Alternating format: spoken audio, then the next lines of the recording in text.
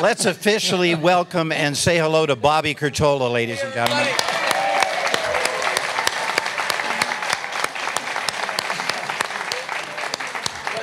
Thank you, everybody. And I just, I tell you, when I had the opportunity to show up for this to celebrate our dear friend Ronnie Hawkins, I couldn't say no.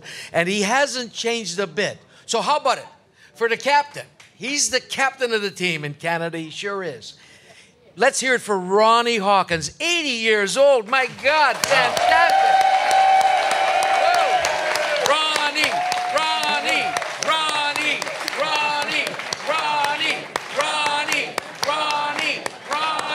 Okay, okay, okay. I'm going to get hell for that one.